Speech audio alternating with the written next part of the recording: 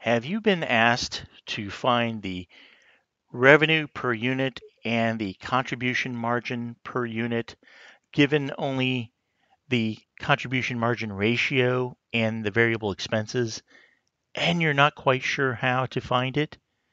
Well, you've come to the right place because I'm Professor Capko, and in today's video, I'm going to show you just how easy it is to find the answers. But first, I want to say I believe something wonderful is about to happen for you, so be on the lookout for it. And now, back to the video.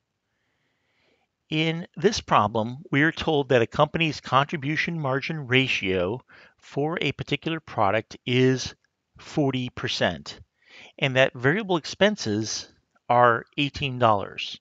And that's a per unit expense. That's per unit we need to find the revenue per unit and the contribution margin per unit. How are you going to find that? Well, we need to take a look at the ratios and the formulas for these items. So I'm going to slide this up here and first we're going to look at the contribution margin is equal to the unit revenue minus the variable cost. So if something cost, say, um, $100 per unit and the variable costs were $25 per unit, the contribution margin would be $75 per unit. So that is how the contribution margin works. But that's just for a dollar figure. Also, there is something called contribution margin ratio, and this winds up giving us a percentage, and it's unit revenue minus the unit variable cost divided by the unit revenue. And we're going to want to multiply that by 100 to turn it into a percentage. But for right now, that's the formula we need to use. So how do we use these to find out the revenue per unit and the contribution margin per, per unit? Let me show you. So let's assume that the revenue, that's the amount that you're receiving per unit, let's just say that we're going to set that equal to 100%. Because whatever revenue is, that's 100%. That's the starting spot. You don't get to keep 100% of the revenue because there's variable costs and other things that are taken out before you get to the net profit. But we're starting with revenue of 100%. The thing that we do take out next would be variable costs.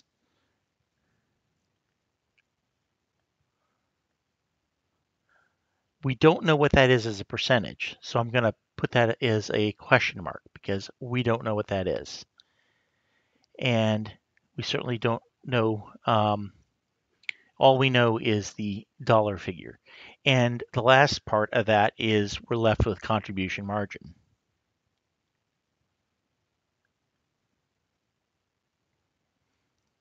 And we're told that the contribution margin, and I'm going to put this as the contribution margin ratio, the contribution margin ratio is 40%.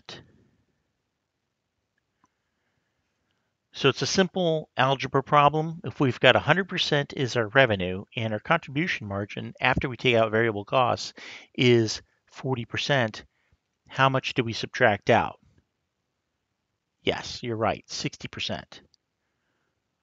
100% minus 60% is 40%. If you're not sure how to do that, we can just say 100% minus our unknown, which is x, is equal to 40%. We want to solve for x, so what do we do? Well, I can add x to both sides. And so we're left with 100% is equal to 40% plus x and then I subtract 40% from both sides. This is just doing algebra. And if I subtract 40% from both sides, we 100% minus 40% is 60%. And that becomes zero, so that's our x. Our x is 60%. That's the part we're trying to fill in here. Thank you for that thumbs up. It really helps the channel. So we know that the variable costs are equal to 60%. What is that in a dollar basis? Well, our variable costs, our variable expenses, we're told is 18%. It could be termed variable costs or variable expenses. Usually a better term would be variable costs uh, because we're trying to find out the cost of an item, but we could leave it as expenses as well. So I want to have it both ways. Our variable costs are $18. So we've got $18 here, and that represents the 60%. That's our 60%. So how can we find out how much the dollar figures are for these two items, the 40% and the 100%? We're going to do a little bit more algebra. We know that the $18 is equal to our our $18 is equal to our contribution of 60%, 60% of the revenue. Because the revenue is 100%, 60% of that is 18 $18. So we know it's 60%. If it's 60%, we know that 60% is can be rewritten as a decimal 0.6, right? If you forgot how to convert percentages to decimals, I've got a video linked up here that will help you with that. So I'm setting my $18 is equal to 60%, which is 0.6, 60% of the revenue per unit.